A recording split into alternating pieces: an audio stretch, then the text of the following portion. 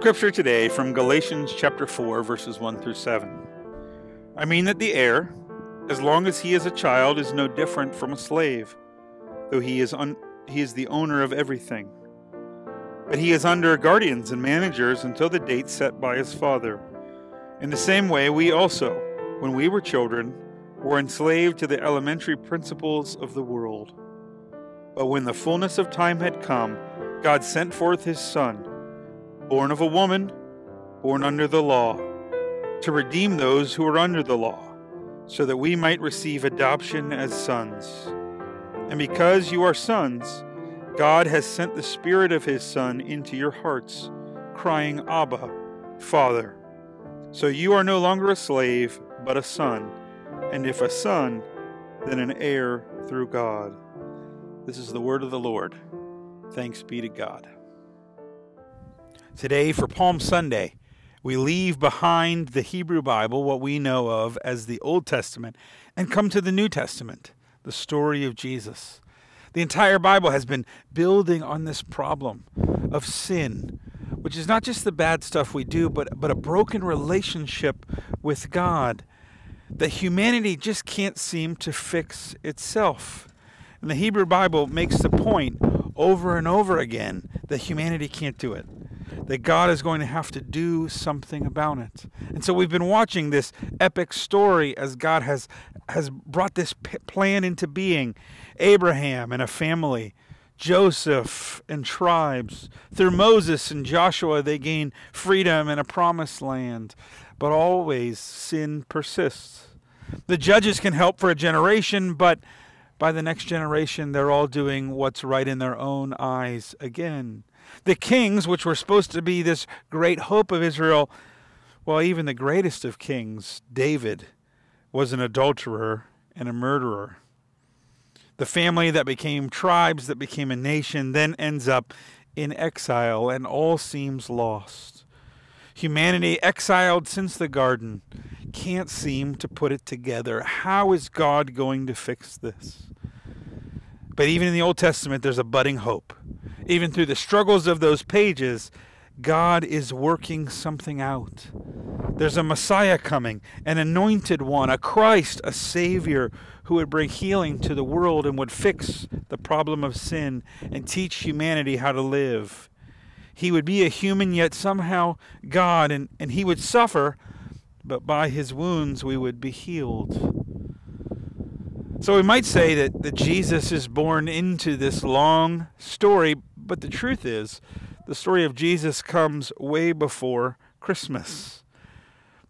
The New Testament reveals that Jesus was a part of the Trinity, part of the Godhead, Father, Son, and Holy Spirit since the beginning. As John puts it, in the beginning was the Word, and the Word was with God, and the Word was God. Jesus' life does not begin at his birth, he has always been. And then, before the world was created, perhaps overwhelmed and overflowing with love and a desire for relationship, God decided to create the world. And Jesus was central to this work because it's always Jesus' job in the Trinity to make God visible. The Bible affirms that all things are created through him and for him, and that nothing was created that was uh, made apart from him. This means that Jesus continues to be part of creation, keeping it together, holding it together in himself. He's the creator, he's the sustainer. And then throughout the Old Testament, there seems to be these times where God shows up in a physical space. There are appearances of God in a human like form in the garden. Sometimes the arm of the Lord is mentioned by Psalms and the prophets sometimes an angel of the Lord that is clearly more than an angel. And so we can look in the Old Testament and see Jesus there already, but then, somewhere around the turn of the first century, a young, seemingly insignificant Jewish girl got an unbelievable and unfathomable visit from God and was told that she was pregnant with the God child and that this child would grow to save people from sin and death and in an event heralded only by shepherds, the center and purpose of all creation was born as a baby. In the Bible's language, the Word, the ultimate truth and reality of human existence, became flesh and dwelled among us. Jesus humbled himself, in Paul's language, giving up his place with God to become a person, to enter into flesh. Jesus was therefore holy and unique, being a human being and being God, and being able to represent both before each other. We know very little of Jesus' childhood.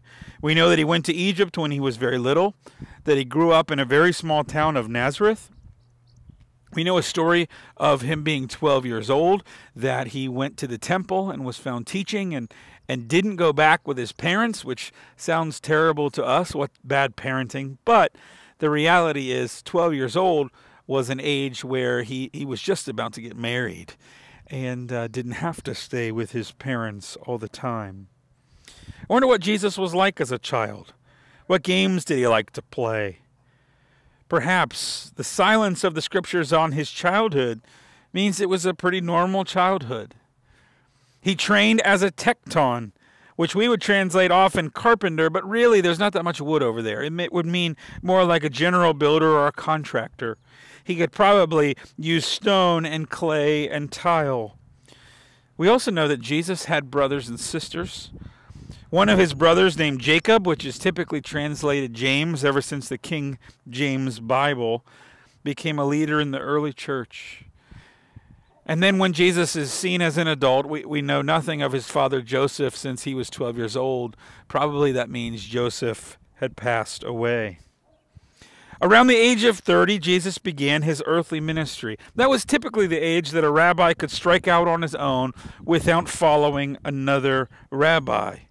Jesus first does a miracle at a family wedding at his mother's request, turning water into wine. I wonder what made Mary think that he could do that. Had he done something like this before? Had he spent a lot of time at other parties turning water to wine or stones into bread? Interestingly, his ministry started with a party, and he did a lot of partying throughout his life. But his ministry really gets going eh, with his baptism and his 40 days in the wilderness. His cousin John the Baptist was washing people in the Jordan and called calling for the repentance of sin. He doesn't want to do that to Jesus because he doesn't think Jesus has any sin, but he does so at Jesus' request. And as Jesus comes out of the water, God the Father says from heaven, This is my beloved Son in whom I am well pleased. And the Holy Spirit comes down and it's something like a dove. Jesus goes out and spends 40 years in or 40 days in the Judean wilderness, mirroring the 40 years that Israel spent. He is tempted in his weakness, and yet he does not sin. And then over the next three years, Jesus conducted a ministry primarily in the region of Galilee, around the Sea of Galilee or the Sea of Tiberias, with several journeys to the south to Jerusalem and at least one to Caesarea Philippi up in the north. His earthly ministry involved a lot of teaching, miracles, and relationships. So let's think about each of those. Jesus spent a lot of time teaching. Most of what he taught you can find in other places in the Hebrew Bible or in teaches of, teachings of his day, but, but often he had his own little twist on the teaching. Most of, his, most of his teaching was paradoxical. The last will be first. Blessed are the meek and the poor in spirit. Faith the size of a mustard seed can move mountains. Some of his teaching was extreme. Like if your eye causes you to sin, you should pluck it out. That's a quote I like to bring out when people say that they read every and follow every verse of the Bible literally.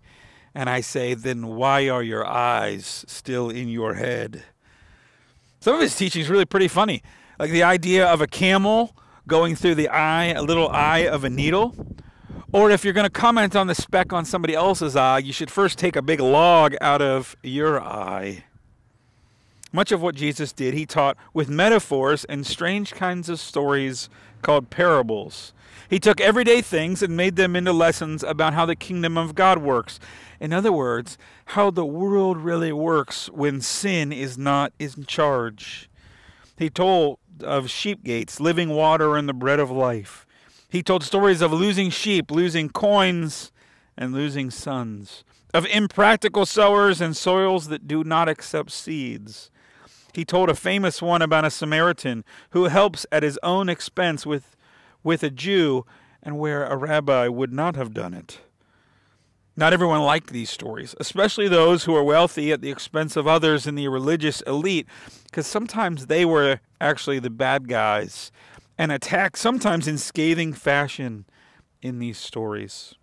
In addition, Jesus did a lot of miracles. He caused great catches of fish, fed large groups of people with small lunches, and cursed fig trees. He calmed storms, walked on water, miraculously moved through an, an angry crowd. The world that was broken by the fall seems to obey the voice of Jesus. And many of his miracles were healings. He healed many who were blind, lame, and had seizures. He healed some at a distance and some by touching, some by just commanding them to get up and walk. One woman was healed of some kind of bleeding disorder just by touching him.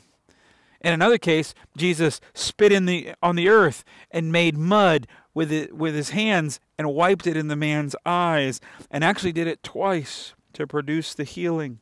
Another man, he simply spit in his eyes. He even brought several people back from the dead.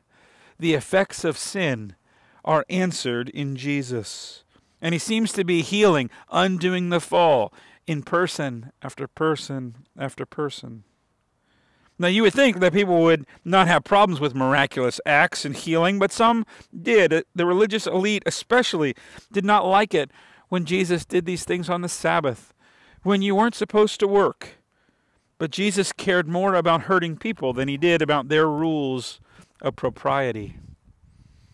And along the way, as Jesus traveled and taught and healed, he interacted with lots of people, sometimes in small groups, sometimes in large groups. Jesus seems to have this amazing love and patience for thieves, for prostitutes, for the terminally ill, for the outcasts. He healed not just physical infirmities, he had this amazing ability to heal people's souls. We have records of many of these interactions, like a rich young ruler who, who wanted to follow Jesus but couldn't quite give up on his possessions, and maybe couldn't give up on his reputation because he finds Jesus in the middle of the night. By contrast, a Samaritan woman meets Jesus in the middle of the day, and after Jesus tells her all of her wrongs, she tells the story to the whole town. There was a woman caught in adultery who was about to be stoned, but Jesus drew in the dirt and said, He who has no sins, cast the first stone. There's even the short guy named Zacchaeus, who was this wee little man, but he wanted to see Jesus, so he climbed up in a sycamore tree, hoping just to catch a glimpse of this man. See, Zacchaeus was a tax collector. He, he was an outcast. He was not welcomed by his fellow Jews because he has sold them out to pay to collect taxes for the Romans. But Jesus ate with Zacchaeus. He ate with a lot of people that he wasn't supposed to.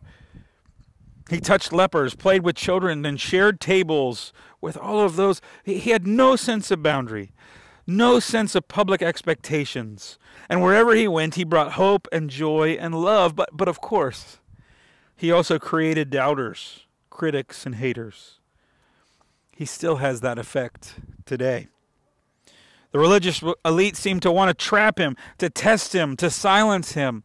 Some called him crazy, some called him a crook and wanted him killed. Others followed, if not out of loyalty, or but then at least out of intrigue or in hopes of a free meal.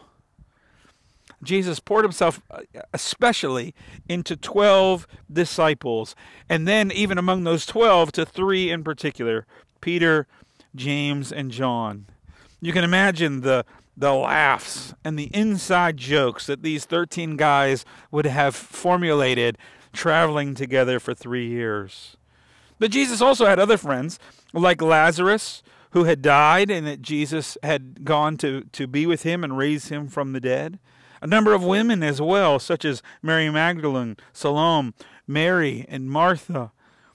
Jesus understood broken relationships. And he was betrayed by a friend, denied by another, abandoned by all the rest. but he lived his life showing people how to how deep and loving relationships could be experienced. In so many ways, day by day, chapter by chapter, as we read the stories, Jesus was living a life that humanity could not achieve. He related to people, he healed, he taught, and, and he was undoing the fall little by little.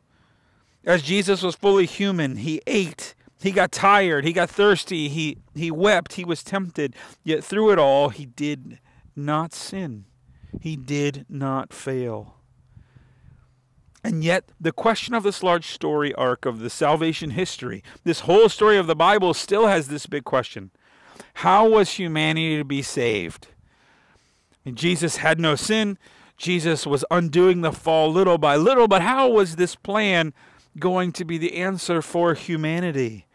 If the wages of sin was death, Jesus would have to die. He made statements throughout his ministry that he was going to die, even saying at least once that he would be lifted up, a reference to the cross. He knew it was coming, how it was going to happen, and he even willingly traveled to Jerusalem for it. He showed up for the Passover after about three years of his earthly ministry. He was there betrayed and abandoned, put through the mockery of a trial. He was stripped and beaten and whipped, a crown of thorns placed on his head. Jesus carried his instrument of death until someone else had to carry it for him, and he died on a cross. The enemy of the state. A political statement that was always uh, the end of political leaders and their movements. He died the death that we deserve. Our sin put him there.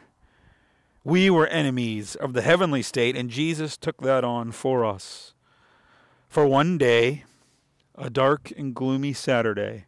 All seemed lost for those disciples. But early that Sunday morning, a group of women going to the temple made a discovery that would change the lives of the disciples. In fact, all history would be changed by this news. But that is the sermon for next week. That is the chapter we will get to in our next sermon.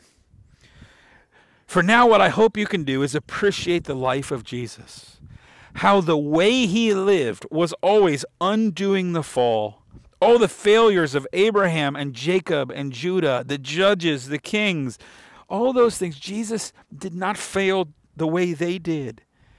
And all their hopes, all their expectations that have been building through the whole Old Testament, Jesus walks right into those and fulfills them.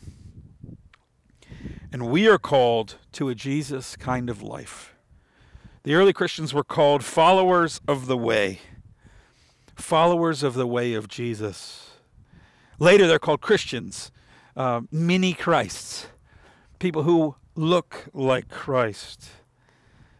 May we all be inspired by the life of Jesus, that we may live a Jesus kind of life. Let me pray. Lord, I thank you for your life that you healed, that you taught, that you cared, that you loved. Lord, in this challenging time that we are facing as a country and a world, help us to be Jesus kind of people. Help us to be followers of your way. Where we can teach, let us teach. Where we can heal, let us bring healing. Where we can build relationships, let us do those so that they so that all around us may experience the hope that we have in you. Pray this all in Jesus' name. Amen.